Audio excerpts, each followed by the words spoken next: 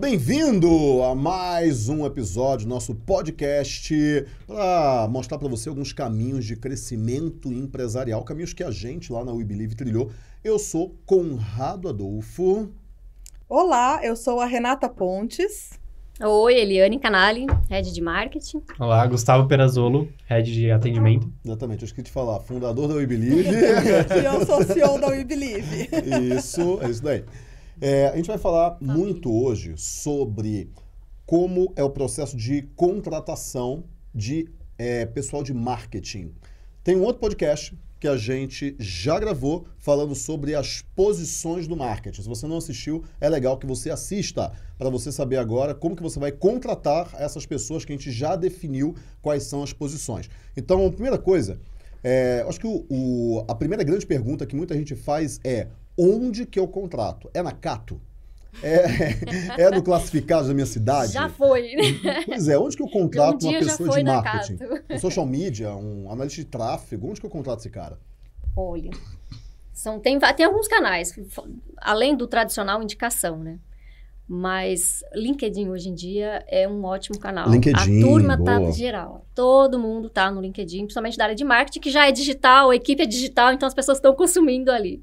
É, tanto que eu entrei na WeBelieve pelo LinkedIn. Pelo LinkedIn. Ah, Foi que legal, cara. Então, assim, é possível. As pessoas vão dizer, ah, muito frio, não sabe quem é. Não, é. não tem muita, a maioria das pessoas. Aliás, hoje a pessoa não dá mais o currículo, dá o link do LinkedIn, né? LinkedIn, é cara, do, tá aqui, ó, tá tudo aqui. Vê lá, tá tudo lá. A gente então, busca muito, muitas pessoas em grupos, tá? Grupos ainda do Facebook, voltados para a área do marketing, seja de social media, copy, analista de tráfego, ou nos próprios grupos do LinkedIn. Tá bom. Que você coloca lá, anuncia dentro dos grupos e as pessoas fazem contato. Porque a, a, o marketing é muito dinâmico e as pessoas são muito dinâmicas. Muitos deles nem têm currículo.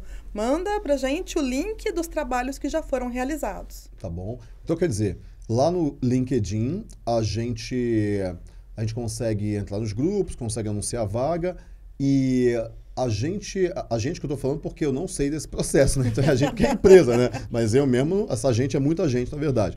A gente contrata não só os heads, mas também os analistas. Também. No até LinkedIn. Por, principalmente dessa área, né? Porque até para a pessoa estar tá começando a entrar no marketing, na área do marketing, ele já tem que ter um LinkedIn bom. É, é o cartão de visita. Então, dessa idade, como é que você trabalha com marketing e você não tem seu LinkedIn?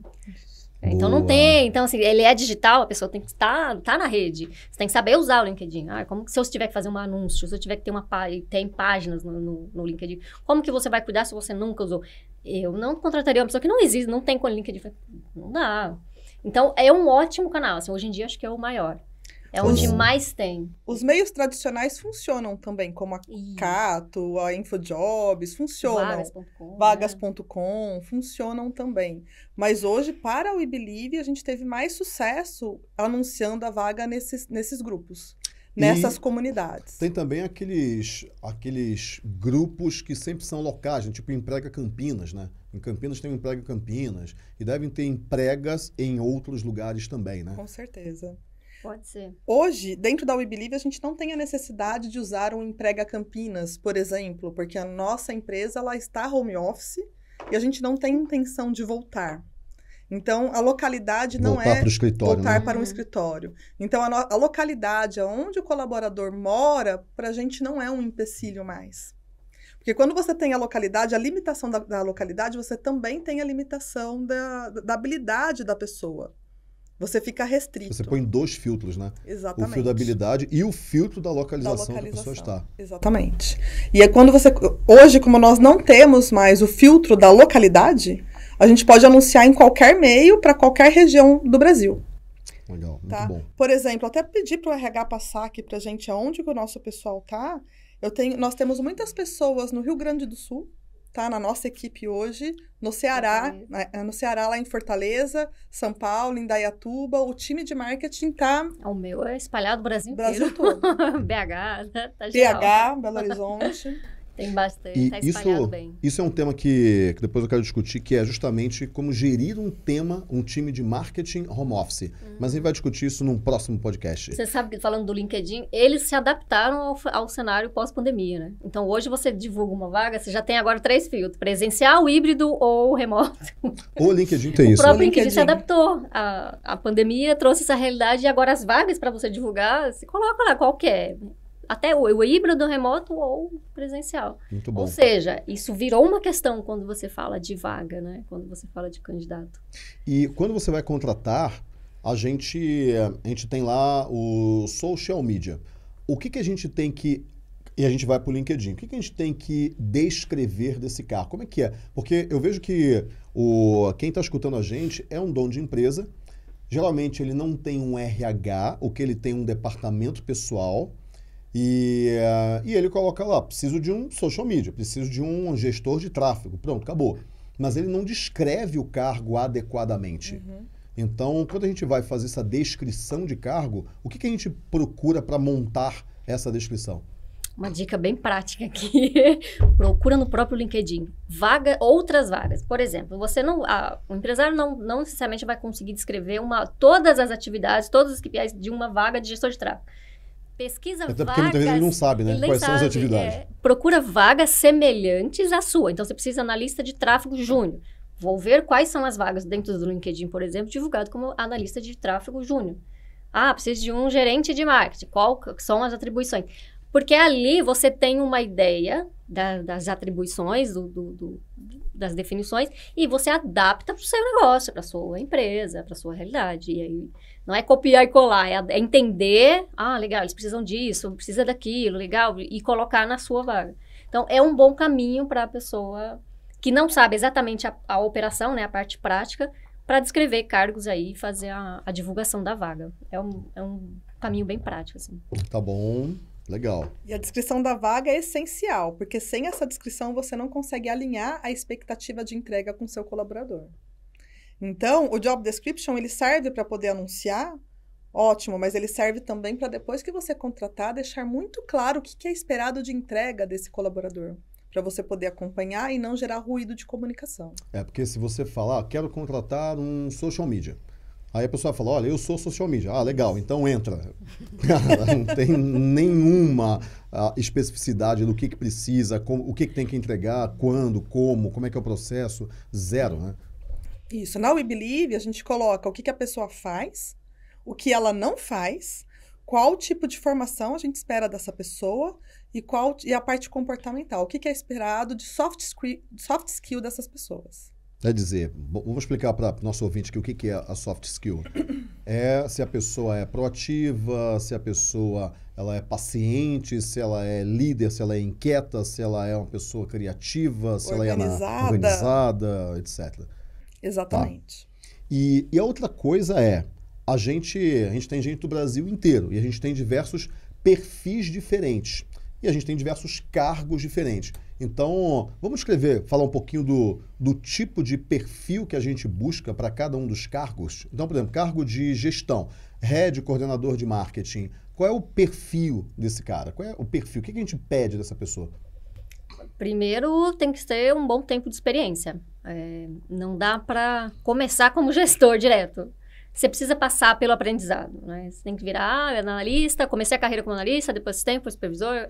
Tem que ter um histórico, tem que ter um, um- um nível de experiência para você... Porque não se ensina isso na faculdade.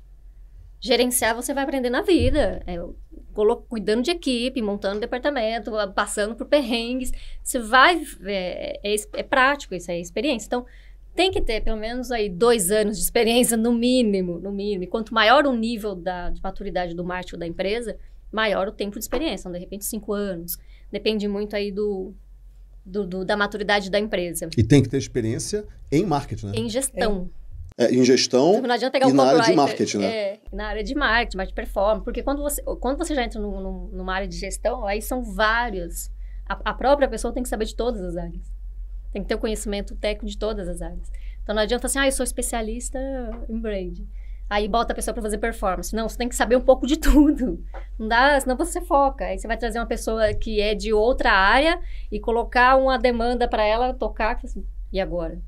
que, que eu faço? Ela vai ter que aprender com o seu dinheiro, né? Exatamente. Então, é, essa pessoa, quando, ela, quando você fala de um, de um head, ele tem que ter esse conhecimento bem genérico de todas as áreas de dentro de um marketing. E que a vida e com a experiência deu para essa pessoa, né? Então, por isso que eu falo, com a experiência ela conta muito.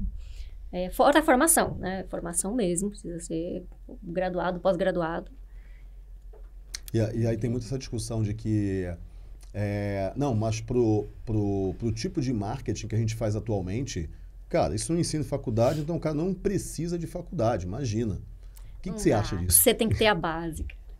Tem que ter os fundamentos, os princípios, tem que né? Ter. Se você não tem ali a estrutura, você não consegue nem diferenciar hoje do que é uma ação. eh, Por exemplo, ah, vou fazer esses cursinhos de infoprodutor, vou fazer esses cursinhos de marketing e vou me lançar como social media, como gestor de tráfego, como qualquer outra coisa. Só que você não tem a base, a estrutura. E a faculdade te, te- te fornece isso. É, você consegue ter o nível de maturidade profissional com a faculdade. Então, quando você fala de comunicação, você tem que estudar a história da comunicação. E aí eu entro depois na parte de comunicação com a equipe. Como vocês comunicam a equipe? Cada equipe entende de um jeito, cada pessoa entende de um jeito. Então, você, a, a- a faculdade, ela te dá base. A pós-graduação, ela acaba te inchando um pouco mais. Ah, vou para esta área. Vou fazer uma pós de finanças. Eu fiz pós em gestão. também é gestão. Você fez pós em gestão. Gestão de marketing, comunicação e marketing na, na USP. Gestão também. Não operação, gestão. Então, porque eu já estava nessa área, então vou focar nessa área.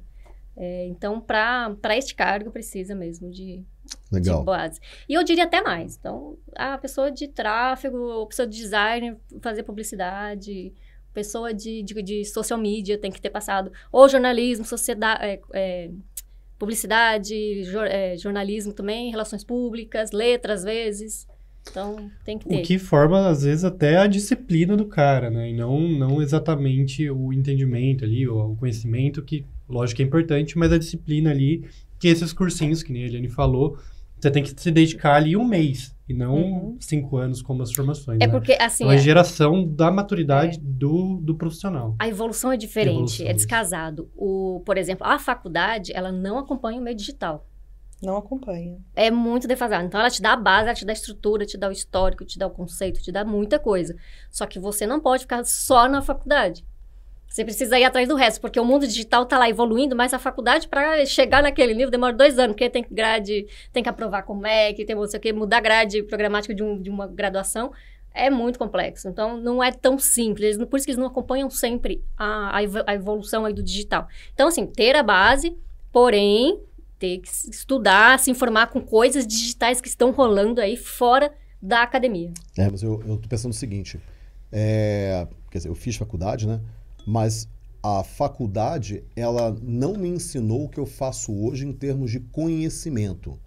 Mas ela me ensinou, é, me ensinou a estudar. Então eu tinha que estudar porque eu tinha uma prova. Então eu tinha que aprender a estudar. Ela me ensinou é, a ser disciplinado, a ser paciente, saber que eu tinha ali um. E eu fiz algumas faculdades, né? E várias eu não terminei, a última eu terminei, para alegria da minha mãe, que fala que se eu for preso, eu pego o cela especial.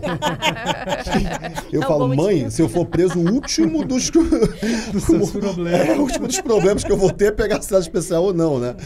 Mas, ok, formei e tal, tudo certo. Mas o. E por um acaso eu formei em marketing, né? Apesar de ter começado na engenharia. E, mas o lance é: a faculdade não me ensinou o que eu faço hoje, mas ela me ensinou uma visão mais global é, em cima do que eu faço hoje. Quer dizer, não é o conteúdo, mas é a forma de ver o conteúdo. Né? Então eu estou pensando aqui, porque existe muito essa discussão hoje no mercado que é, cara, pra você faz isso, você não precisa ter faculdade. Não, para você apertar botão, você não precisa ter faculdade. Para você contratar, você dono, contratar uma pessoa que tenha possibilidade de ascender para um cargo de liderança, ela tem que ter algumas habilidades a mais e o fato de ter feito uma faculdade, passado nas provas, se formado, mostra que ela tem, no mínimo, ela tem paciência para esperar o processo até que ele termine e não queira acelerar, o Acelerar, processo. né? exatamente. Exatamente. Imagina que a pessoa sai do ensino médio com 17, 18 anos. E aí ela já quer entrar no mercado de trabalho, fazendo alguma ação, porque ela fez um cursinho e Fazendo ela um não tem milhão. Um ideia milhão já. É. de, de como é o mundo corporativo, como que são as relações. Não, não entende nada da vida. E ela vai aprender na prática. Em algumas exceções vai funcionar, mas não, vai- não vai ser a, a- a regra. Então, a faculdade, ela prepara esse jovem, que é quase uma criança, acabou de sair da adolescência, para o mundo dos negócios. Qualquer área, que seja engenharia, que seja marketing, amigo. Não, e é mesmo assim, quando ele sair da faculdade, ele ainda vai sair imaturo. Sim. Total. Porque ainda, ainda é jovem, né? Ainda, Ainda é tem a jovem. teoria. É, a faculdade estrutura o raciocínio lógico, É. a capacidade de trabalhar em equipe, de aguardar quatro, cinco anos para ter seu diploma. Então, estrutura um processo é, racional, lógico na cabeça do profissional. E gera um. ó, e gera um, um, um quebra-molas, né? Quer dizer, gera um atraso na expectativa do cara e faz ele aprender com a frustração. Isso. É claro que existem pessoas fora da curva, mas não Sim. pode Não é usar regra, isso como né? referência. Não é a regra. Não é a regra.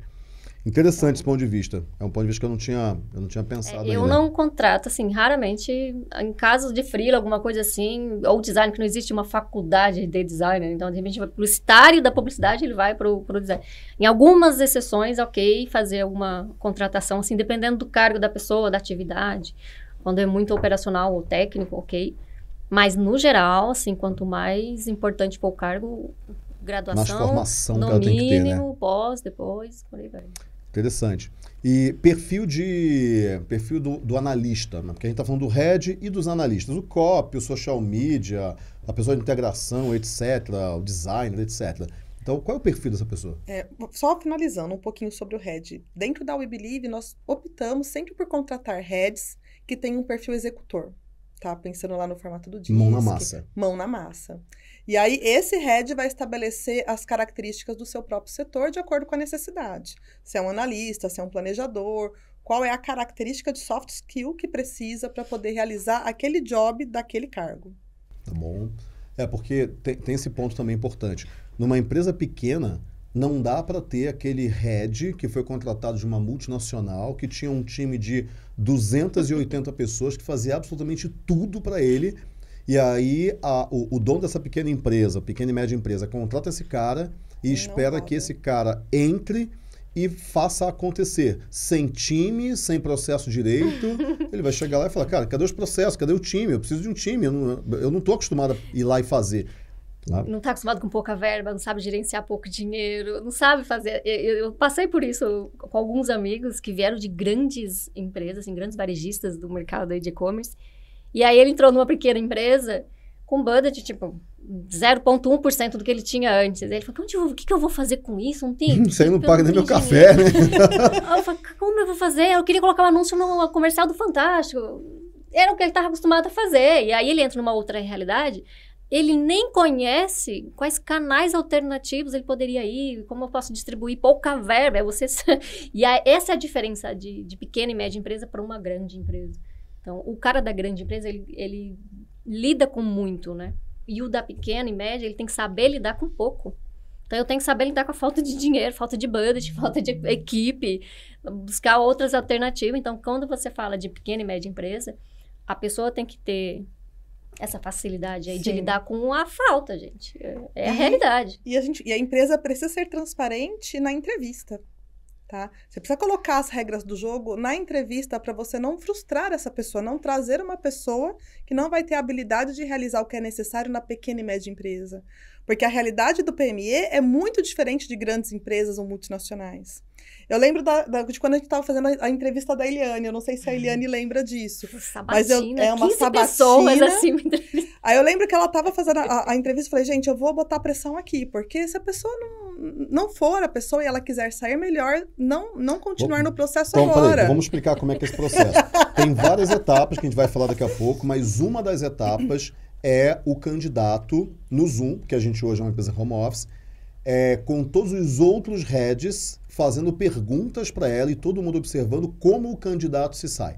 Isso. Então, é, essa é a fase final ali da entrevista. Isso. E aí eu lembro que a pergunta que eu fiz para a Eliane foi: é, temos X mil reais de verba de marketing. Se eu precisar dividir pela metade e você tiver que me entregar o mesmo resultado, o que, que você faria? Você lembra dessa pergunta? Lembro. Não, depois foram duas, teve mais uma. Hoje você tem uma equipe de X pessoas. Você vai ter que reduzir pela metade, entregando as mesmas coisas. Eu, lembro que eu já entrei com esse desafio de reduzir a equipe pela metade e entregar as mesmas coisas. Eu falei assim, uau! Só vamos lembrar que isso foi no ápice da pandemia, tá, gente? Exatamente. Exatamente. É isso aí. E Mas- não podia baixar a entrega. E não podia baixar a entrega. E, mas, mas o desafio foi colocado no momento da entrevista, para ela não se frustrar também, porque se a pessoa entra sem saber qual é o desafio efetivo que ela tem que cumprir, é- existe um descasamento de necessidade de comunicação muito grande. É isso aí. Quer dizer, é, na entrevista é melhor você falar a verdade mais feia, né, do que a mentira mais bonita, né? Porque a pessoa vai entrar e ela vai saber exatamente qual é o pepino que espera ela, porque toda empresa tem lá um pepino para ser descascado. E daí essa pessoa tem que entrar sabendo qual é o pepino, né? Pra saber se ela realmente quer entrar É, ou não. senão depois a pessoa também não fica. Perdeu o seu tempo, perdeu o tempo dela, da equipe, de ter que lidar com um gestor, daqui um mês é outro gestor de novo. Porque é que nem foi, pega o cara lá da, da varejista, um head de uma multinacional e fala assim, amigo, não, você vai ter todo o dinheiro do mundo. Aí você cria um sonho, uma expectativa na cabeça do candidato. Para atrair o cara, que e na aí, hora... aí ele entra e fala assim, não, mas não é nada disso. Isso aí é o projeto futuro. Mas agora não tá. E aí o cara não sabe lidar com aquela realidade. Isso. Então é um tiro no pé fazer mentir na entrevista, de todos os lados, né? Do. Todos os da lados. equipe e do, da empresa. Isso. Isso falando do Red, agora vamos, vamos supor que a gente vai contratar um social media. Mas peraí, vou puxar ainda mais pro Red ainda. Essa questão do, do cara da multinacional. Eu já tive uma ilusão de que se eu contratasse um Red que veio de uma grande empresa, ele resolveria todos os meus problemas, porque ele chegaria e implantaria tudo que ele aprendeu e que ele implantou lá na grande empresa. E aí eu me frustrei algumas vezes. A última foi péssima. E, e aí eu entendi, não, para tudo, tá tudo errado, não é isso que funciona. É, a gente tem que entender, tem que contratar uma pessoa que veio de uma empresa um pouco maior do que a nossa, mas não enormemente maior do que a nossa, porque não funciona. As culturas são diferentes, os processos são diferentes, a verba é diferente, etc. Então isso é uma, uma coisa importante. O Red ele tem que vir de uma empresa um pouco maior, ou do mesmo tamanho e tudo, mas que tenha, tenha tido uma experiência similar um pouco ou um tanto melhor, mas não descolada da realidade da sua empresa. Vou um pouco mais longe, tá, Conrado? Porque a característica de trabalho de uma empresa familiar, normalmente as, as, as empresas PMEs, pequenas e médias empresas, são familiares. A característica de você trabalhar numa empresa familiar é muito diferente de você Muito. trabalhar numa empresa multinacional. Tá? Numa multinacional, você respeita a política, respeita a regra, você tá- tem um quadradinho bem definido de qual é o seu papel, você não pode extrapolar esse quadrado. E já numa empresa familiar, você vai ter mais autonomia em algumas ações, mas precisa lidar com os valores do Os dono, egos. com, os com o É, ego do exato. dono, com a característica do dono ou da família, do filho, da- Uhum. do sobrinho, do irmão É, que está é. dentro da empresa. Então, um, um profissional acostumado a trabalhar numa multinacional, mesmo que você ofereça o mesmo salário, ele não se adapta em trabalhar numa empresa familiar. E vice-versa. A pessoa que trabalha na familiar também não consegue na multinacional porque não vai conseguir ficar dentro da caixa. Então, existem características diferentes de acordo com a, com a habilidade e o histórico profissional dessa pessoa. Tá bom. Então quer dizer, não é só a questão do salário e do currículo. É também a questão de quais experiências anteriores, o tipo de experiência que essa pessoa, pela qual essa pessoa passou. Exatamente. Tá bom. Exato. Falando agora então dos, do, da- do- dos analistas, né? Do Isso. time de Da operação. equipe operacional, né? Isso. Essa daí vai ser dinâmica, né? Cada um tem as suas funções, né? Por isso que eu falo, não dá para contratar uma pessoa e falar assim, faz tudo. Não, não acontece. Então, a pessoa de automação, ela vai ter que ter conhecimento técnico de automação, quase um TI voltado para marketing. É, não vou conseguir pegar isso de uma pessoa que, tem, que vai fazer social media. Mas não é um cara de muito. TI, não é um desenvolvedor, Não por é exemplo. um TI puro. Então, esse é um cargo, essa, essa é uma função que tá meio solta aí no mercado, sabe? Então, deixa eu até lembrar aqui, a gente falou num outro podcast essa pessoa de automação, tá? que é um dos cargos do marketing. E o que, que essa pessoa faz? Hoje no marketing a gente tem muitas ferramentas. Então tem o Active Campaign, tem o RD Station, tem o Make.com, tem BI, tem um monte Tem de coisas, né? É. Tem Hotmart, é, tem o Guru, tem Chat Guru, que é de WhatsApp, etc. Um monte de ferramentas. Octadesk. Octadesk, É, um monte de um monte, um um monte de ferramentas, um monte de sistemas. E ah, tem que ter uma pessoa que integre um sistema com o outro, que conecte né, um sistema com o outro para que o, o lead que entra lá na ferramenta Facebook vá para uma automação de marketing para você enviar os e-mails e saber de onde ele veio, que vá para o CRM, que vá para o meio de pagamento e é a mesma pessoa. Então você tem que ter uma integração para que esse fluxo de trabalho ele flua, ele flua por meio das ferramentas. Então tem que ter uma pessoa de automação. Então essa pessoa acho que é mais complexa de explicar. É. O restante, designer, social media, acho que o nosso ouvinte já sabe o que, que é. Uhum. Mas essa pessoa de automação, por exemplo, ela não é um TI puro, um desenvolvedor. Ela não está nesse nível de, de, de, de, de complexidade. Então o TI puro, desenvolvedor, ele vai fazer grandes integrações, né? vai fazer códigos, etc. Essa pessoa ela não está tanto nesse, não está neste nível, mas também não pode ser uma leiga precisa ter um conhecimento ali intermediário de. Não de, pode de ser o designer, coisa. que é um bom é. designer, e de repente ele quer ir para automação, uhum. que ele não entende nada de tecnologia. Exato. E por que, que a gente está falando tanto de automação? Acho que é importante falar um pouquinho sobre isso. Porque é através da automação entre as ferramentas que a gente gera dado confiável. Se, a gente não, se não houver integração entre as ferramentas, você não consegue medir o resultado das suas ações. Vai depender de um estagiário imputando dados numa planilha do Google Docs e você não pode não só não confiar no dado, como aquele dado pode ele pode esquecer o dado, ele pode trocar o dado. E o dado nunca vai estar cruzado. Você nunca vai saber o que, qual campanha gerou qual resultado para poder estabelecer como, como realizar os investimentos nas campanhas. É, a ferramenta dá mais dá mais clareza para de fato, de verdade, como que a empresa ela está funcionando. Ela dá mais clareza para os indicadores, né, para os KPIs. Então Isso. tem que ter ferramenta, tem que ter tecnologia. Pessoas, processos e ferramentas. Tem que ter as três coisas. Tem, tem que ter. Ainda mais se começa a aumentar o jogo da empresa, começa a aumentar a maturidade, tem que trazer no ferramenta. home office, né? Nos processos maduros, precisa de indicadores, porque sem os indicadores, os processos não valem de nada, né, Conrado? Tem um processo bem claro, mas você não mede eles. Você não é, sabe se funciona ou não. Se funciona ou não. E, e aonde que está pode... o gargalo, onde que tá, onde você precisa colocar mais, mais pessoas ou mais ferramentas. E aí tudo se perde no caminho. Então, não é, o, na verdade, uma gestão de dados ali que, que a uhum. automação faz para ele entrar no marketing e sair na ponta lá no comercial e saber de onde que veio, para onde foi, por onde que passou, qual funil deu certo, qual ação deu certo. E não pode depender da, da pessoa lembrar de colocar o dado ou não, da pessoa colocar o dado no lugar certo, na hora certa e o dado certo, né? Ah, e tem ferramentas acessíveis no mercado hoje em dia. Então, existe a melhor do mercado, caro, mas existem outras que são semelhantes, que vão te entregar alguma, alguns dados melhor do que nada, por um custo muito menor. Então, mesmo uma pequena empresa consegue pegar uma ferramenta intermediária ali que vai ser um custo menor, mas que já começa a ter alguma coisa. Agora, quando você não tem nada, né? Você vai fazer, tipo, vai gerenciar a equipe. Que equipe se você não tem equipe? Então você não vai gerenciar ninguém. Então é a mesma coisa. Se você não tem ferramenta, não tem nada, ou para guardar lead, ou para fazer controle de venda, não tem como. Então precisa, nem que seja custos menores, mas tem que ter alguma coisa. Ok, então esse é o caso de automação. É, os outros perfis, o, os analistas, é, a gente fala muito de perfil júnior, pleno e sênior, né? Então, só para quem está aqui ouvindo a gente, o júnior é aquela pessoa que precisa ser mais direcionada, uhum. o pleno é aquela pessoa que já consegue fazer sozinho e o sênior é aquele que consegue criar as coisas que ele vai fazer, que geralmente já é um cargo mais de heads. Então, nessa linha aqui, onde que você acha que a gente pode ter júnior e onde que você acha que a gente tem que ter sênior? É, qualquer empresa, qualquer, qualquer uma dessas sub-áreas aí, se for para ter júnior, tem que ter um sênior gerenciando. Ok. Sempre. Agora, se tem um júnior e não tem ninguém gerenciando, o que vai sair? Então, por exemplo, empresário, eu não conheço nada, eu sou o dono, eu vou contratar um social media.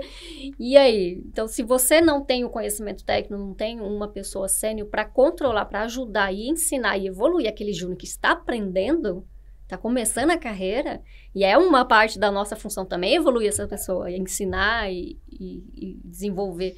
Se não tiver isso, o Júnior vai patinar sozinho. Vai é o fazer, estagiário. É o teste, teste erro. Deu certo, não deu. Ele, ele, vai ficar sozinho. E se for uma pessoa mais é, proativa. Agora, se não for também, ele Sim, vai ficar estagnado na situação dele. Assim, vou fazer só o que me manda. É importante. Que é uma realidade de muita gente, né? Não errar, né? A gente tem esse contexto né, da pandemia ali antes da, da ele entrar. Que na, no marketing a gente tinha lá no, no social media, que a gente tinha é, o, o pleno, né, e o, o júnior abaixo, aí a gente precisava cortar custos lá na pandemia, a gente tirou o pleno, o júnior surtou, né, não, aí não continuou. Então, também Exatamente. saber a, a, hora que você tem que ter realmente o pleno ali cuidando da situação para não não causar mais problemas na empresa, né? Que aí no É. fim a gente ficou sem os dois. É, eu lembro É. que a pessoa simplesmente chegou e falou, cara, eu tô completamente perdido aqui. Tipo, É. não sei pra onde eu vou. Ela até né? foi realocada embaixo de um sênior, mas não tinha tanto domínio ali do processo e se perdeu. É, É o júnior, ele funciona, ele é bom desde que é assistido e orientado, né? Então, quando a gente falha nessa parte, pegar júnior vai ser um problema. Aí, fala, ah, o mercado mais barato. É, mas mais barato ele também vai te entregar algo menor. Então, tem que balizar aí o... É, na verdade, é uma coisa que a gente fala é o seu pior funcionário é o seu funcionário mais caro. Isso. Não interessa o salário que ele está ganhando, porque ele está fazendo você perder dinheiro e está impedindo Exato. você de ganhar mais dinheiro. Exatamente. Uhum. É essa visão que tem que ter. E não necessariamente, ah, vou contratar um que custa tanto e o júnior está tão mais barato, acho que eu vou pegar o júnior. Só que daí a entrega também é limitada. Então, tem que entender que não adianta insistir em alguma coisa. É, muito baixa, assim, precisa mesmo ter um suporte. Aí, então, o júnior atenderia muito bem no designer. E quando eu falo júnior, pode ser a pessoa que está no início da carreira ou até estagiário. Tem muito estagiário bom, né? A gente- a Renata sabe, a gente tem pegado alguns estagiários muito bom. É, Então, não é, ah, estagiário está começando a carreira. Essa é a hora de você pegar a pessoa, de ensinar e de colocar no caminho. Eles, É. Alguns voam, não todos, mas alguns voam. Mas aí, aí vem a análise dos soft skills que a Renata estava falando, que é você analisar não a, a habilidade dele desenvolvida, porque ele não tem ainda, mas a habilidade comportamental dele, ele ter atitude de liderança, ele ter atitude de iniciativa, ele vai atrás, ele estuda, ele pergunta, ele fala, meu, me dá pista, né? Eu quero pista. Exatamente. E aí você pega uma pessoa dessa com alguém que é sênior orientando, dando o caminho, voa. Esse cara voa. Voa, É. e depois você vai efetivar, óbvio, mas voa. Então tem muito, é, muito campo para você pegar esse tipo de júnior, desde que é assistido. É, então, assim, diz- É, na verdade, eu ia falar um po- pouquinho também sobre o modelo home office e a contratação do júnior.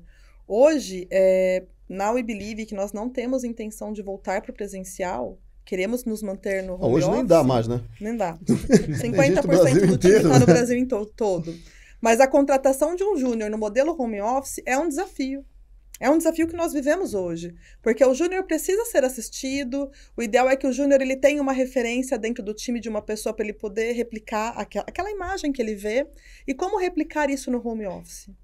É, hoje não, não existe resposta pronta para isso, mas é um desafio da- das empresas que hoje estão optando permanecer no home É, office. E atualmente, quando a gente está gravando esse podcast aqui, a gente está com 60 pessoas. Exatamente. né? Então, 60 pessoas no home office é um baita desafio de gestão. E tem funcionado, mas existem alguns gaps em, em como fazer isso é, é, fun- funcionar de forma mais fluida, principalmente do júnior, que precisa de uma assistência mais próxima. É, o home office fez um movimento dentro da própria We Believe que foi de aumentar a faixa etária dos nossos colaboradores. Tá? Então, os colab- colaboradores, a gente tem contratado muito pleno e sênior para atuar na nossa empresa.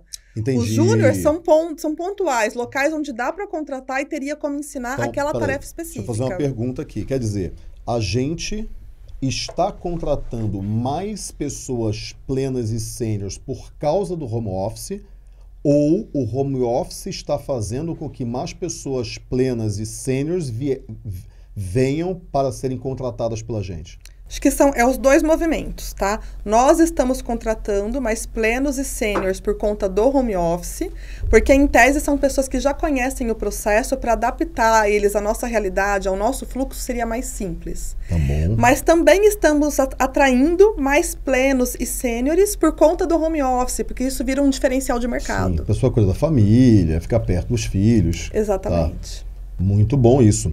E é, e é engraçado, né? Porque, é, gente, eu sou fundador da empresa, né? Aí quando eu faço esse tipo de pergunta, Você, "Bom, mas você não sabe, é, você não sabe. Não, eu não sei. Isso bom. é ótimo É para você que está escutando a gente. Você que é dono da empresa, esse tipo de informação não é uma informação que você tem que saber, porque isso tem que ficar lá no departamento bem cuidado, por exemplo, de gente em gestão, ou no marketing, ou né, no administrativo. E é, enquanto você souber de tudo que está acontecendo na empresa, porque a sua empresa é pequena demais e talvez você seja a pessoa que não está deixando ela crescer. Porque você quer saber de tudo e no final você acaba controlando demais a empresa e isso controla também o crescimento. Anda com o freio de mão puxado. Isso. Tá, interessante. Então, quer dizer, a gente tem, está aumentando a quantidade de sêniores e plenos por conta do regime, né? Exatamente. O regime, é, do regime de, de trabalho, né? O home office. E uma outra coisa, então a gente tem aqui perfil que dá para ter júnior, dá para ter, mas é importante ter um sênior e em alguns cargos tem que ser o sênior mesmo, que é o head. Eu acho que você podia ler de novo, falar para nossa audiência novamente quais são os cargos, cargos. para quem não assistiu o- o- a parte 1 desse podcast. Tá, então primeiro, precisa do gestor, o coordenador, o designer, o analista de tráfego, um tem que ser Instagram, o outro Google, um copywriter, um social media, é uma pessoa de automação, um videomaker, que vai fazer a captação de vídeos, e o editor de vídeo. Então, esses são os cargos aí, de maneira geral, do marketing. Pode ter mais uma coisa ou outra, mas isso aqui é o grosso, né? O que a gente tem hoje, né, na nossa rede. É o que a gente tem hoje, exatamente. O que a gente tem hoje na nossa, nossa rede. E a gente tem um time relativamente robusto de marketing comparando-se com, comparado com a maioria das pequenas e médias empresas. A gente é uma média empresa, só que, obviamente, que tem times de marketing muito maiores, que tem uma, uma equipe de produção de vídeo, que são tipo três videomakers e tal. Mas, obviamente, que o nosso ouvinte, que é uma pequena e média empresa, não precisa de tudo isso. Uma outra coisa é, é, vamos falar um pouquinho de como que é o nosso processo de contratação no marketing. Tipo, a pessoa manda o currículo, ela vai para tal lugar e tem uma entrevista. Como é que funciona esse processo? Isso. É. Vou falar um pouquinho da parte do RH Isso, e eu ia falar. Primeiro começa no RH e depois passa para o marketing. Isso. É, o RH define, junto com o head da área, qual é o job description dessa, dessa, dessa vaga. Então, lá o que a pessoa vai fazer, o que ela não vai fazer, qual é a formação e quais são os soft skills. É, a pessoa que é, do RH faz os anúncios da vaga. Tá? Nesses Então, lugares que a gente já nos falou, né? lugares, no LinkedIn, LinkedIn, busca pessoa, no tá. face- nos grupos de Facebook, grupos de LinkedIn, busca a pessoa no LinkedIn e nos meios tradicionais. Cato, vagas.com, Infojobs. Faz o anúncio da vaga e ele vai receber todos os currículos. Com base no job description, ele faz a primeira análise, que é a triagem do currículo. E a primeira entrevista é feita pelo RH para poder analisar se o que está no currículo corresponde ao que a pessoa está falando, qual que é a característica comportamental da pessoa. Faz uma primeira entre- entrevista para triagem. É, isso aqui é importante, a característica comportamental da pessoa. Uma coisa é você ter um social media, outra coisa é você ter um analista de tráfego. São pessoas com perfis comportamentais diferentes. O analista de tráfego é um cara focado, ele talvez seja até um pouco mais introspectivo, ele tem que ficar focado nos números o dia inteiro, analítico. Um social media já é uma pessoa de. Ele é- tem que ser mais focado em engajamento, comunicação, tem que ser uma pessoa talvez mais extrovertida, ele vai sair gravando vídeo de outras pessoas na empresa. Então são perfis diferentes, isso é muito importante. Isso. E para poder fazer uma primeira triagem no RH, o RH combina com a Eliane quais são as perguntas de corte, quais são as perguntas que precisam As ser feitas, as eliminatórias. Então passa por uma primeira triagem pelo RH e o RH tem que entregar pelo menos três currículos, três pessoas para cada vaga que a gente distribui. Me dá um exemplo de pergunta de corte, por exemplo. É, experiência. É, Menos de dois anos, não tem- contrata. Depende da área. Não, depende do. Tá, Aí vai, entendi, não, depende da área, é, sim, sim. depende muito do. Ah, então tem experiência? Ah, não tem nenhuma experiência. Pode ser um fator complicador dependendo do, da vaga. É, estudo, formação, então depende muito. É, tempo fora de mercado, algumas coisas assim, dependendo Quanto do tempo passou na, na última empresa, por exemplo? É, então, é a rotatividade, Rotatividade. também. O perfil, então, de repente, a pessoa não quer trabalhar numa empresa só. Então, acaba tendo. é Se a mu- pessoa é ainda está em muito- fase de aprender, né? É. Ela está pulando de empresa para aprender em várias empresas. Então, eu mando muito essas informações Se a pessoa já teve um negócio Então, ou é. não, né? Porque de repente a pessoa quer ser uma empreendedora, ela não quer trabalhar Já numa aconteceu. empresa. A né? gente contratou uma pessoa para fazer uma função, para fazer a parte de vídeo, de edição de vídeos. Só que ela era empreendedora e ela queria fazer ela, a empresa dela vender. Então, tipo, Foi vender ela. super recente isso. Recente. Aí eu falei, poxa, mas ele é empreendedor, ele não é um colaborador, não tem que estar na equipe. É, porque destoa muito. A pessoa é desligada, tá focada mais no negócio dela. Então, assim, não funciona. Então, ele é um perfil completamente diferente para uma área, para uma vaga que é, é equipe, é colaborador, é operacional. Então, o empreendedor aqui não funciona. Então, tem que ter essa, essa, Essa diferenciação. E aí, por exemplo, vamos pegar um social media, pegar quais são as, as, as contas que essa pessoa já, já cuidou, pra dar uma olhada para ver se realmente cuidou. Ou um analista de tráfego, qual a verba que essa pessoa já administrou. Isso, boa. Então, essas perguntas são feitas. Se a pessoa chega e não sabe responder qual a verba administrada, é cortada ali na entrevista. Porque é, é, é muito específico da, da, daquela vaga, a pessoa, um analista de tráfego, ele precisa saber, na ponta da língua, qual, qual foi a verba administrada. É, e tem que ver se foi ele que administrou mesmo, ou se foi um time, ele estava ali como apoio, né? Não. Eu administrei, sei lá, 200 mil reais por mês. Tá, mas quem que fazia as campanhas lá e realmente bidava, né? Dava o lance lá? O RH não vai conseguir chegar nesse nível de detalhe. O marketing vai chegar. O marketing okay. vai chegar, mas, mas se você faz a pergunta de, vo de volume de dinheiro administrado e a pessoa não sabe responder, já corta ali, não continua no processo. E aí, para cada vaga, se entrega três pessoas, três currículos para a Head, e a Head faz as perguntas técnicas para avaliar se dá match ou não. Tá bom. Esse legal. caso do vídeo que a Eliane estava comentando, a gente entrava no, no, no, Instagram da pessoa, tava cheio de vídeo nosso lá. E isso é um a problema. Se... isso é um baita problema. também não sabia disso. isso é um problema. estava se divulgando, na verdade. Ela queria fazer o nome Com dele o em dinheiro. cima do nome. é. E não, e não ajudar a equipe, porque a equipe estava lá, desesperada, precisava daquele material e não tinha, não estava entregando. Então, é, porque muda, o perfil de pessoa muda muito. É, mas esse daí foi um caso à parte, né? Acabou que não passando aí pelo processo normal. É, e tem, muita, tem muito dono que acha o seguinte: ah, mas eu não consigo contratar porque todo mundo quer montar o seu próprio negócio. Dono de empresa.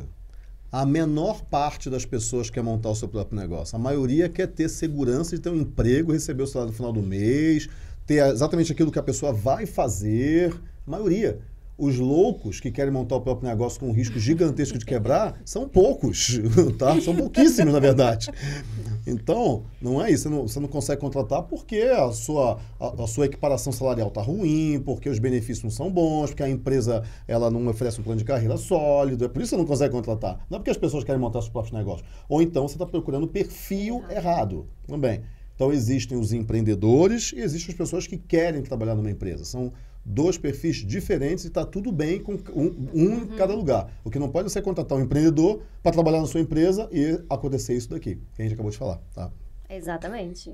Então, é, passando a parte do RH, principalmente a parte de cultura, comportamental, eu falo muito para o RH, filtra bem isso, porque tem que estar tá alinhado com o nosso formato, nossa cultura. Avaliar valores da pessoa. É. Isso quem avalia é o RH também. É o RH, é o tudo no RH. Assim, Os valores já da pessoa. me tragam pessoas que já deram esse ok. Isso aí é um negócio importante também. Os valores da empresa e os valores da pessoa. A nossa empresa tem como valor disciplina. Cara, se vê uma pessoa desorganizada, nem, nem desorganizada, indisciplinada que não respeita a reunião, que não faz aquilo que, que tem que ser feito, que vive dando desculpa. Cara, o cara não vai vingar a nossa empresa. Uma outra coisa é, nossa empresa tem como valor equilíbrio emocional. Se vê uma pessoa descompensada, que surta por qualquer coisa, não vai também durar na empresa. A gente tem valor de meritocracia, a pessoa tem que entregar. Se a pessoa vem com muito mimimi, muita desculpa, ah, não entreguei por causa do fulano, não entreguei por causa do Beltrano, não entreguei por causa do ciclano, também não vai vingar na empresa. Então, é, a gente tem que gravar um podcast só disso. Uhum. Quer dizer, os valores da empresa que vai, vem muito do mindset do dono, o que o dono acha que a empresa deve ser uhum. e os valores da pessoa. Tem que ter match, senão não vai funcionar. Exatamente. E aí não é a minha, minha competência de analisar isso. Então, por isso que eu falo, gente, o RH é fundamental nessa parte, nessa E não é departamento pessoal. Não, não é paga o lerite, né? Recursos humanos, não de é verdade. É uma pessoa com habilidade em desenvolvimento humano, senão não consegue fazer. É isso aí. Legal. Que dá então, para terceirizar também, que né? dá, dá para terceirizar, terceirizar também. Aliás, o ideal é terceirizar. Quando a empresa é pequena, é. não precisa ter uma pessoa dessa. Dá para terceirizar. Depois você vai contratar alguém dentro da sua empresa, porque é um profissional diferente, diferenciado, não é, é departamento pessoal colocou, implantou esse, esse processo novo de, de, de, RH, nunca mais tive problema de candidato ruim. Pelo contrário, eu comecei a ter tanto candidato bom que eu falei assim, e agora? Agora eu preciso escolher entre vários bons. então Legal. mudou muito, assim, quando implantou um processo novo no RH, de, de fazer toda essa triagem, porque daí eu vou perguntar quais as técnicas, já vou, eu já vou entrar, o que, que você sabe fazer de tráfego? Eu não vou perguntar de outras áreas, de outras coisas, analisar outras é, atestar, né, aliado com a cultura da empresa, essa parte o RH precisa fazer e me passa falando isso que tá ok. Porque tecnicamente, de repente, ele é bom. E agora, posso contratar mesmo? É seguro? então, tem essa, essa dupla análise aí, senão... E esse processo no RH foi um processo de maturidade que vivemos no pós-pandemia, tá? Por conta da mudança cultural do presencial para o home office. Então, hoje... O perfil mudou, né? O perfil mudou. Então, hoje, o nosso perfil de contratação lá dentro do RH está muito mais robusto do que era há um ano atrás. Então, as contratações das pessoas que vêm vindo hoje, é, a partir de 2022, eles têm muito mais match com os valores e a cultura da We Believe do que antes. Por quê? Porque a gente mudou por conta do, da mudança do, do presencial para o home office.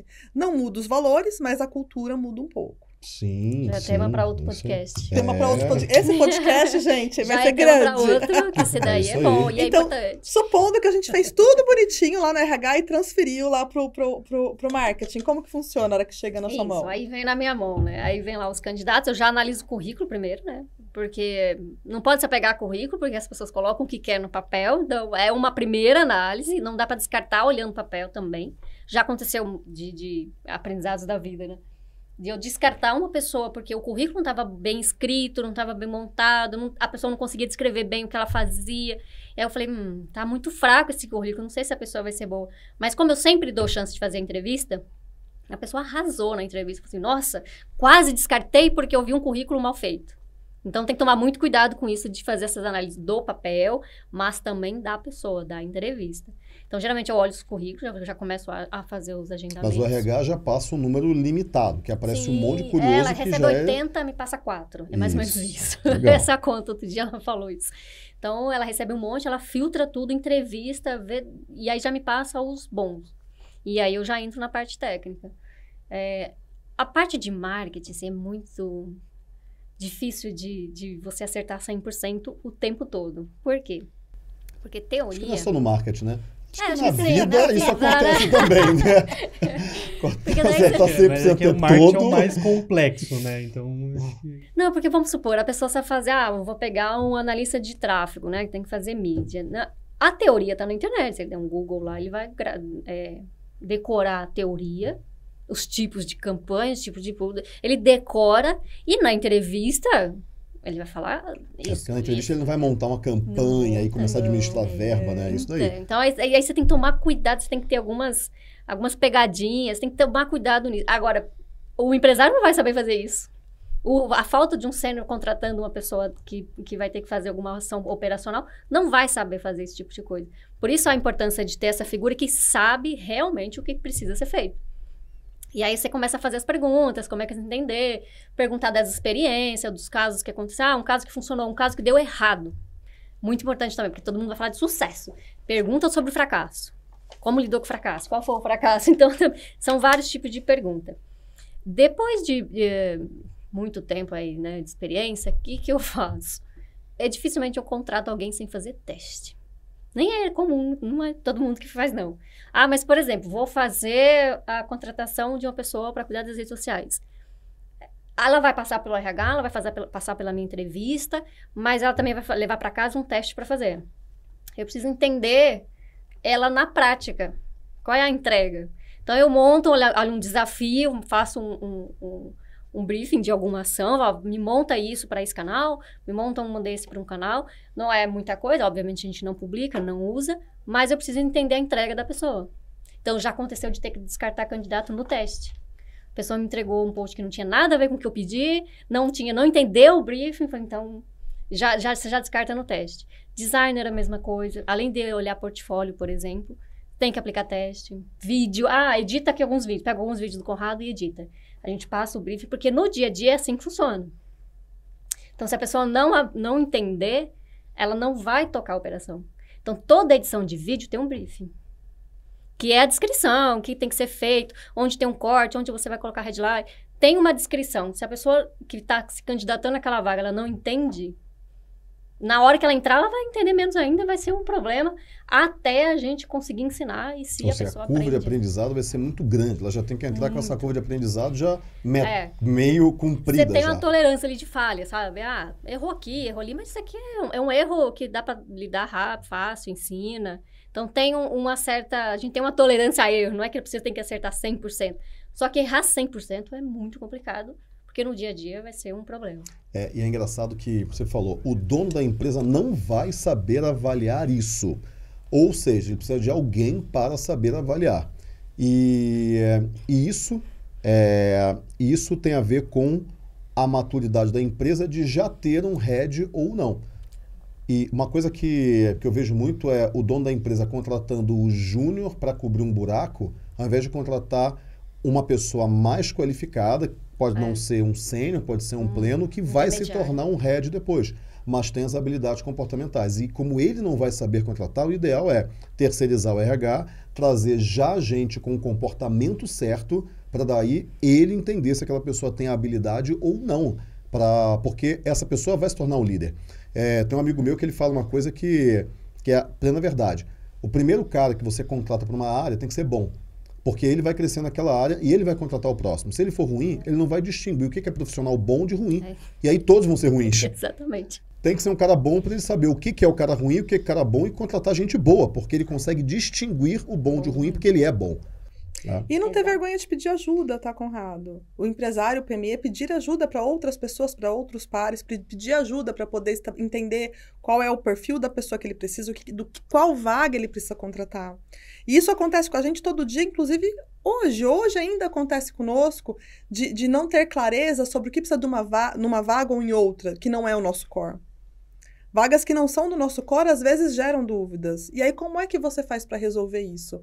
Conversa com pares, faz bench, pede ajuda para outros empresários, contrata Aliás, a gente faz empresas. muito isso. A gente faz Conversa muito, com muito isso. outros líderes de outras empresas que são mais ou menos similares à nossa.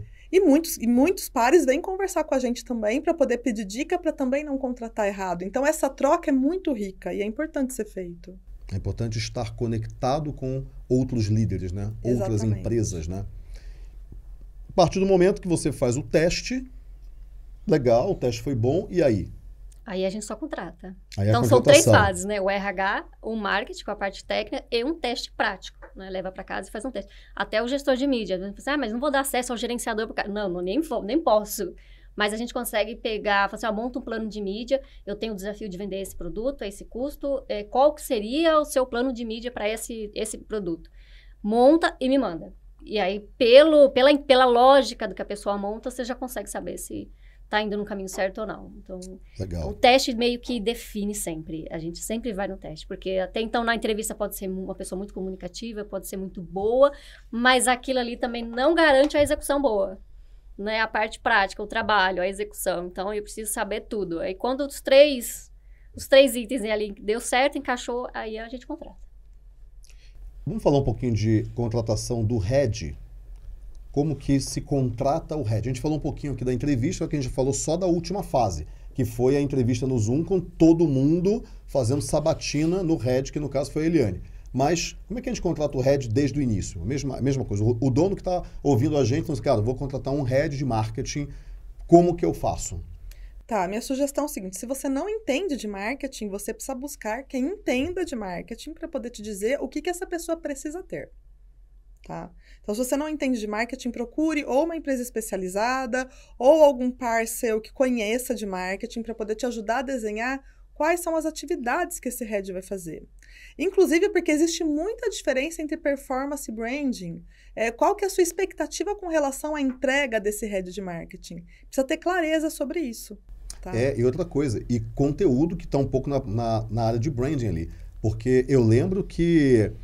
Eu me lembro que a gente tinha uma gestora de conteúdo quando a Eliane entrou, e aí quando ela saiu, a gente falou, Eliane, você vai ficar com o conteúdo também. A Eliane chegou e falou, tudo bem, mas essa não é a minha especialidade. A minha especialidade é Eu performance. falei, vai ser conteúdo para performance. Isso, exatamente, conteúdo para performance. É isso daí. Então vai ser conteúdo branding. E a, e a nossa outra gestora de conteúdo, ela tinha um conteúdo muito mais voltado para o branding, não para performance, porque ela não tinha especialização em anúncio, em Isso. tráfego. Então isso é importante você também levantar do gestor para saber qual é a, a especialidade dele, no que, que ele já trabalhou, quais os resultados que ele já entregou, né?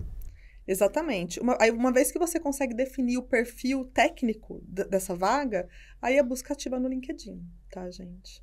Olhar o LinkedIn, fazer busca ativa no LinkedIn, realizar contatos via LinkedIn para você poder realizar essas entrevistas. Agora, é uma parte importante também, né? Vamos pesquisar também sobre cargos e salários. Porque esses tempos, um cliente nosso recente queria fazer, divulgar uma vaga de um head de marketing, só que com salário de analista. Aí eu falei, amigo, você vai receber currículo de, de muito fraco, porque ninguém que é head vai se candidatar. Porque a pessoa não vai nem mandar, nem tentar entrar na vaga, porque assim, já limitou na, na vaga, né? Então, ter essa, essa ciência e essa pesquisa prévia, que acho que o RH também ajuda Faz. muito nisso, de entender, ó, eu vou para este nível de profissional, mas eu vou precisar colocar tanto de dinheiro, porque senão você divulga uma vaga e não necessariamente aquela divulgação vai te trazer gente boa, porque o corte vai estar ali, a hora que a pessoa lê e fala, nem vou, entendeu? Então tem que tomar muito cuidado, porque é a expectativa versus o que você está oferecendo. E Isso nossas aí. vagas, elas são anunciadas com salário aberto, tá? Por quê? Para evitar ficar Já perdendo filtrar, tempo. né? Exatamente. Já Não vamos filtrar, ficar é perdendo tempo. A pessoa que vem já vem sabendo qual é o salário, já recebe currículos já mais, mais enquadrados no que a gente quer. Porque aí fi- fica bom para todo mundo. E aí o processo de entrevista é o mesmo, tá, Conrado? É exatamente o mesmo. Você vai fazer per- pergunta, pergunta eliminatória, com base técnica, vai avaliar se o que está no currículo está condizente com o discurso da pessoa. E o, e o RH também vai receber vários currículos, vai filtrar três e vai encaminhar para a pessoa que vai contratar o head. Que no caso da dessa Eliane. Na época foi para você que foi, foi entregue esses currículos para poder passar pelas entrevistas.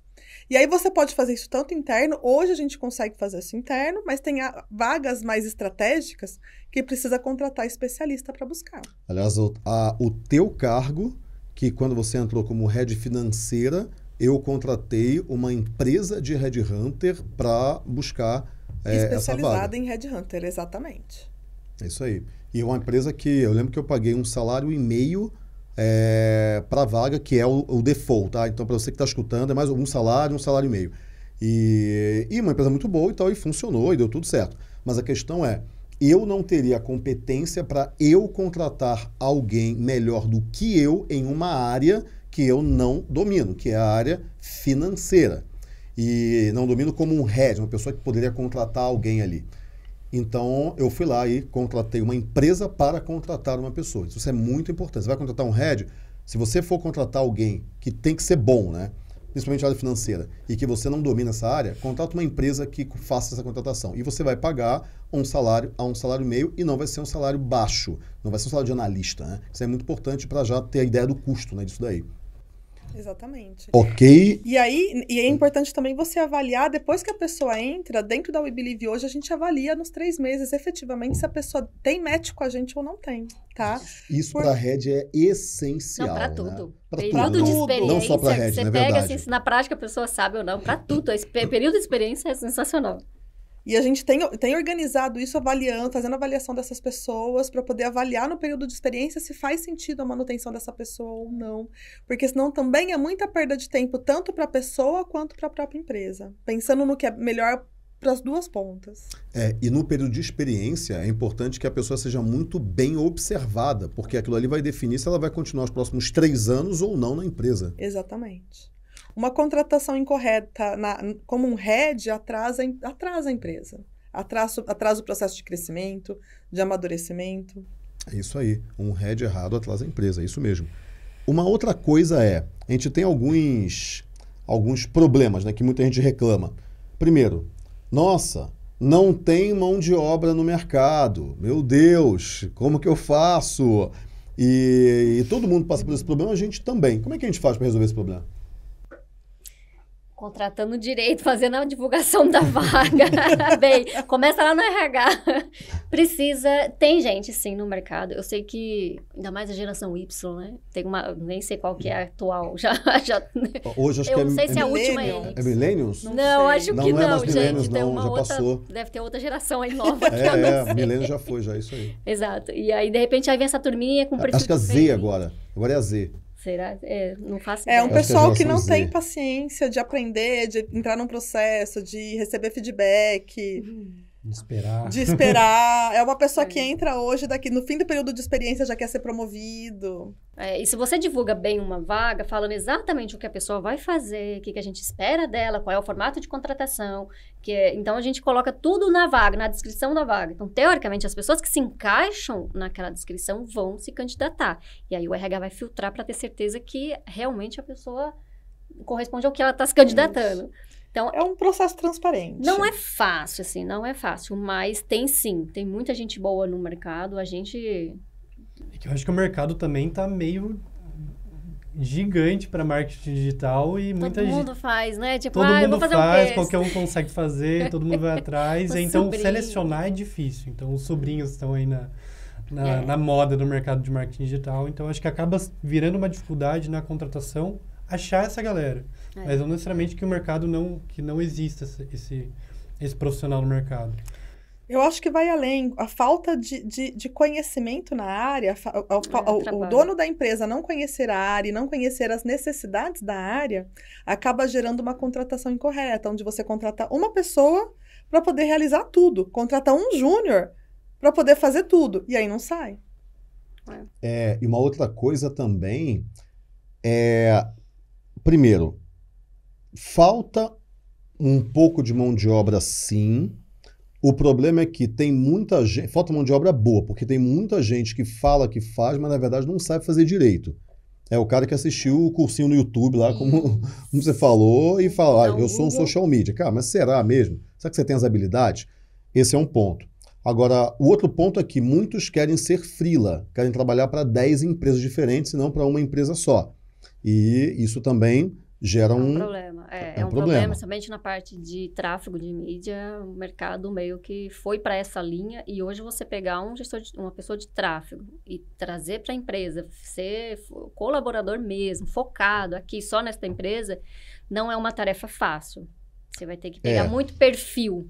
Qual é o perfil da pessoa? Ah, então, assim, você trabalha para quantas empresas? Já na, na quanto se candidata? Porque tem muita gente, e isso é uma gente, a gente passou recentemente quando substituiu o analista de tráfego, que as pessoas elas se candidatam a um emprego porque caiu o número de clientes, então tipo assim, eu tava com clientes. né? 10 clientes, putz, 5 saíram.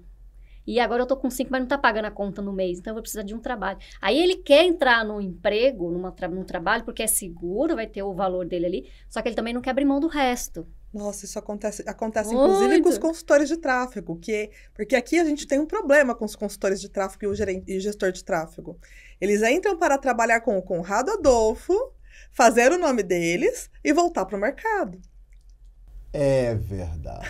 Tem, então, ou Pra é. dif- trabalhou pra com gente é Conrado difícil. Adolfo, é verdade. é muito mais difícil pra gente do que pra uma empresa. Ah, tem uma loja, tem uma indústria.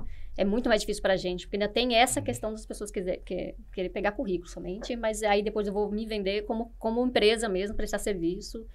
É, e outra coisa, a gente tem uma fome maior, a gente precisa comprar muito tráfego, a gente tem muito cliente e a gente acaba tendo que pegar um cara mais qualificado e, obviamente, tem menos no mercado.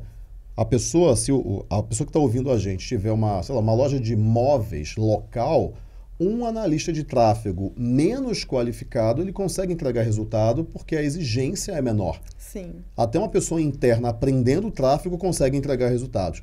A gente precisa de alguém já com bem mais qualificação pelo tamanho de verba que a gente coloca. Tem isso também, é E aí verdade. você tem que também eh, compensar pelo outro lado, que é o salário. Então não adianta jogar lá embaixo, que a pessoa não vai ficar só com você. Ela vai ter você mais 10 clientes.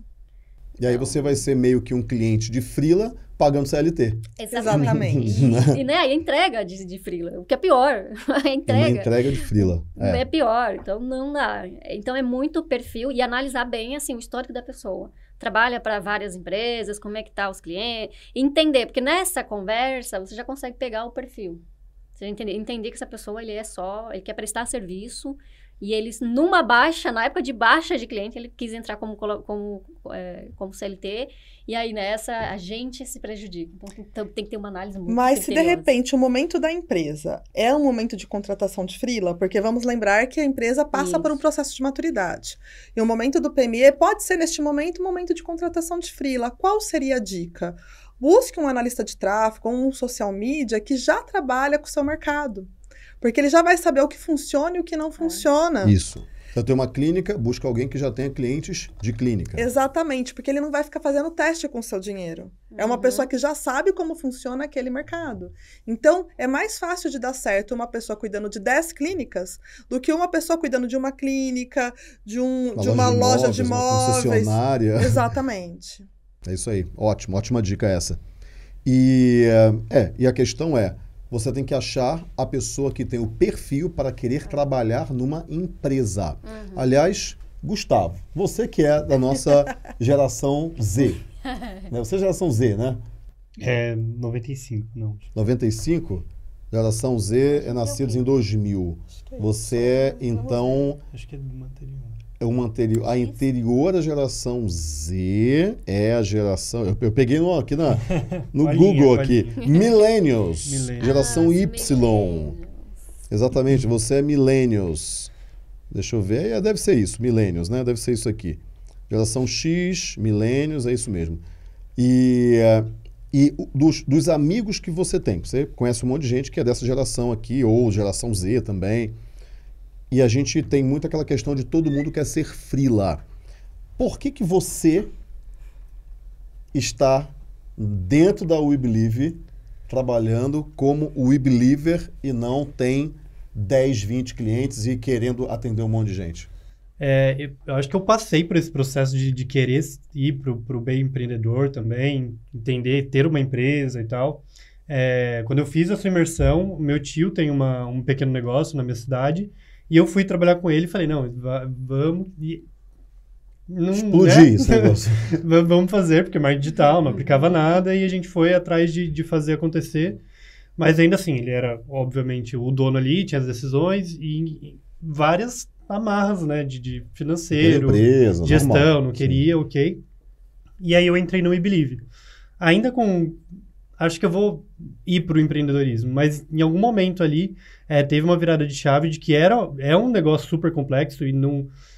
para você estruturar uma empresa, para se tornar uma empresa que, que você consiga ter a renda e gerir pessoas, eh, a segurança e, a- e muito da cultura também me, me fizeram ah, estar no eBelieve, né? Mas pela, é, pela segurança mesmo e entender que o jogo era era mais complexo do que eu imaginava. Então, Sim. tem os amigos que, que foram por, esse lado, que trabalhavam no, no eBelieve e outros que não trabalhavam, mas é, que, que não vê essa dificuldade de...